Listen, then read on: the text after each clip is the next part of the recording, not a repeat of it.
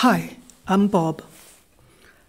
Let's continue our solutions to the exercises for Chapter 4, the effects of a price change on the demand, and uh, the composition of the total effect into the substitution effect and the income effect.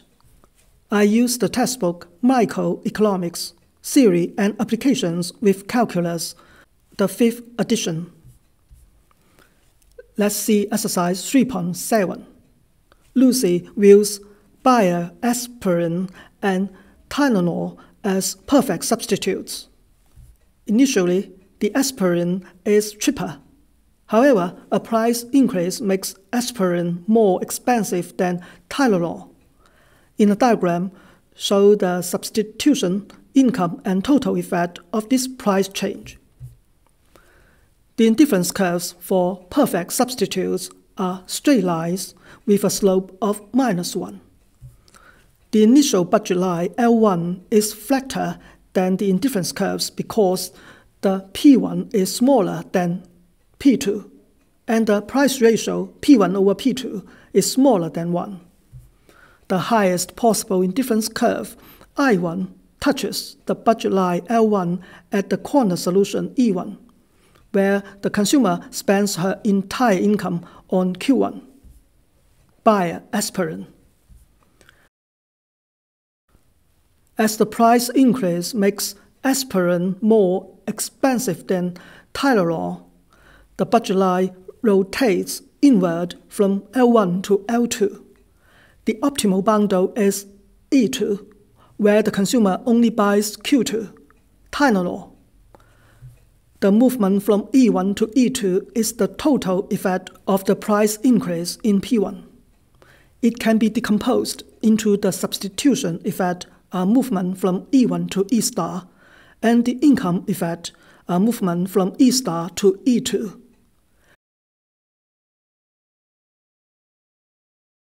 The imaginary dashed budget line L star has the same slope as the new budget line L2 and is touching the old indifference curve, I1.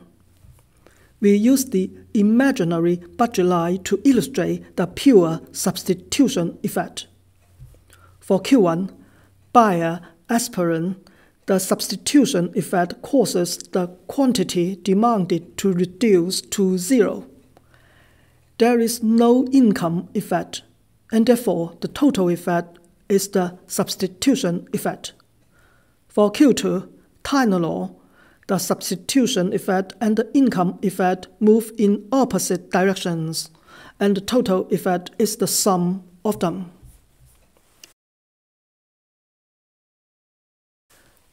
Let's solve exercise 3.8. The consumer's quasi-linear utility function is as follows. His budget is y equals 10. Originally, the prices are P1 equals P2 equals 1. However, the price of the first good rises to P1 equals 2. Discuss the substitution, income, and total effect on the demand for Q1. This exercise is also about decomposing the total effect of a price change into a substitution effect and an income effect. We are using the quasi-linear utility function this time. We can solve the problem in four steps.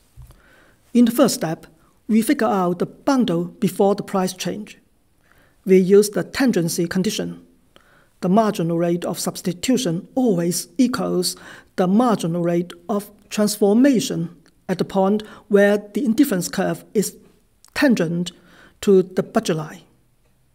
The former equals the marginal utility ratio and the latter equals the price ratio we obtain the optimal quantity of Q1, which equals 4. Substituting it into the budget constraint gives the optimal quantity of Q2, which equals 6. So we have the Q1 and Q2 coordinates of the optimal bundle E1 before the price change. Similarly, we calculate the coordinates for the optimal consumption bundle E2 after the price change in the second step. Q1 equals 1 and Q2 equals 8. In the third step, we need to determine the bundle E star. It is the point where the consumer keeps the original utility but faces the new prices. The imaginary budget line L star has the same slope as the new budget line L2 and is tangent to the original indifference curve I1. Using the tangency condition, we obtain the optimal quantity of Q1, which is 1. Then we use the fact that E star and E1 are at the same indifference curve and have the same utility. We already know the quantities at E1. We can compute the utility level for the indifference curve I1, which is 14 utiles. So we get the quantity of Q2 at E star.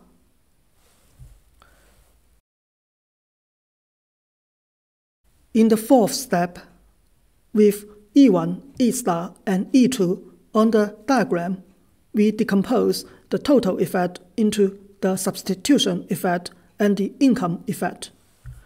The increase in P1 rotates the budget line inward from L1 to L2.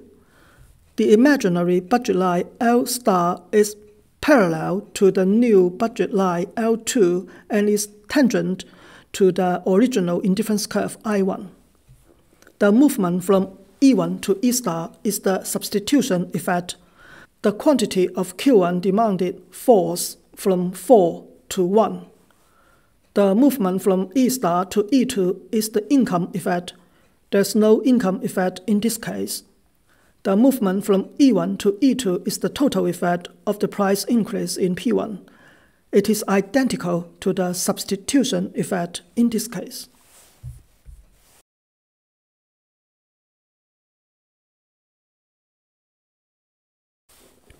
Let's solve exercise 3.9. The consumer views ice cream and fudge sauce as perfect complements. Is it possible that either of these goods or both of them are Giffen goods? For perfect complements, we have the optimal bundle Q1 equals Q2 equals Y divided by P1 plus P2. The partial derivative shows that the quantity demanded and the own price move in opposite directions. The quantity increases as the goods price falls. Neither of the goods can be a Giffen good.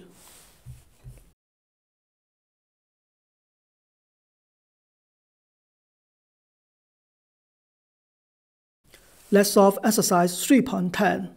The consumer's utility function is as follows. Derive her compensated Hicksian demand and expenditure functions. It is a utility function for perfect complements. The consumer uses the two goods in a fixed proportion equal to J. That is, J units of Q1 or 1 unit of Q2 give the consumer the same utility if used together. So, for the optimal bundle, Q2 equals Y divided by the price of the J units of Q1 and 1 unit of Q2. Q1 is J times of Q2. Then we can write the indirect utility function in terms of income and prices. The expenditure function is the relationship between the minimum expenditures necessary to achieve a specific utility level for a given set of prices. It is the inverse of the indirect utility function.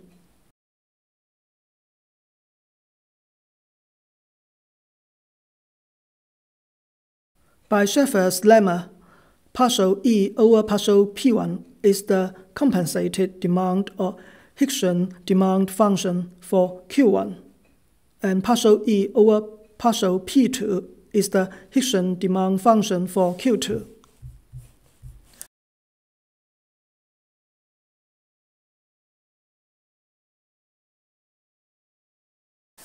Let's solve exercise 3.11.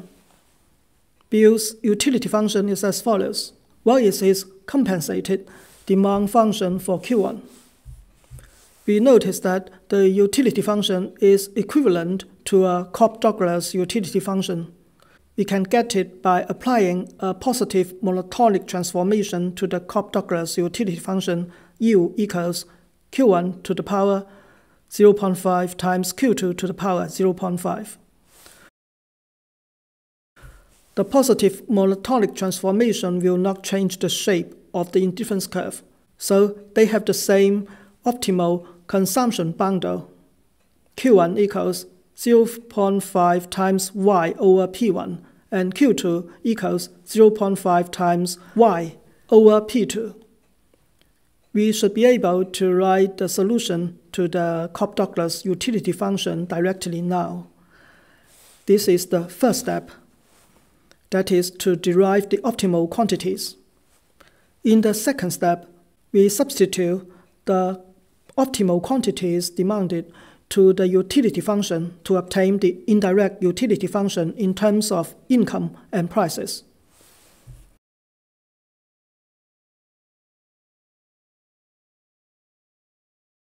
In the third step, we place y on the left-hand side and write it as a function of utility and prices.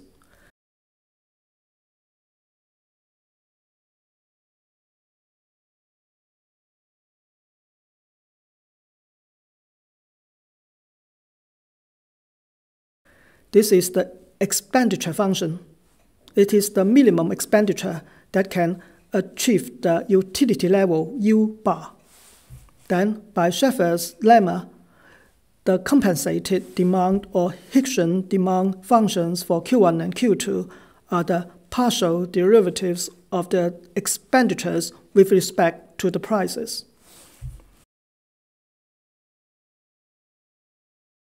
Or we can use the Lagrangian method. We minimize the expenditures subject to a specific level of utility.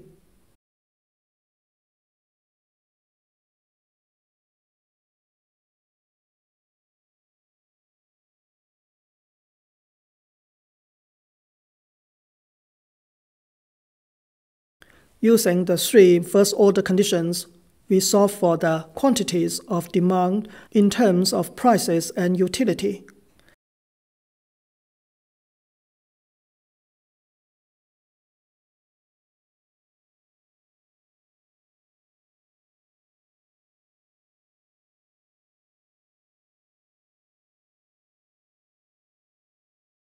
They are the compensated demand functions because the utility is held constant.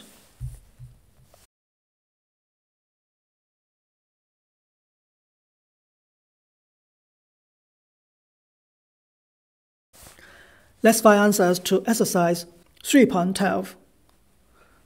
The utility function is as follows. Derive the compensated Hicksian demand and expenditure functions. It is the linear utility function for perfect substitutes. The indifference curves are straight lines with a slope of minus 1 over 2. There were corner solutions to the optimal consumption bundles. We need to compare the slopes of the indifference curves and the slope of the budget lines. We consider two cases. In the first case, the budget line is flatter than the indifference curves. The corner solution is E1, where the consumer spends his entire income on Q1. Q1 equals Y over P1, and Q2 equals 0. Substituting the quantity into the utility function gives the indirect utility function in terms of y and price. Then we write income on the left-hand side. It is the expenditure function. By Shephard's lemma, the compensated demand or Hicksian demand function is the derivative of the expenditures with respect to the price. So we have the Hicksian demand function for Q1 equal to U bar. Similarly, we have the Hicksian demand function for Q2 in the second case when the consumer only purchases Q2.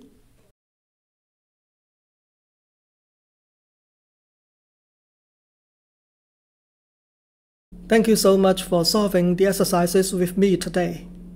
See you tomorrow in the next part in chapter 4. Goodbye.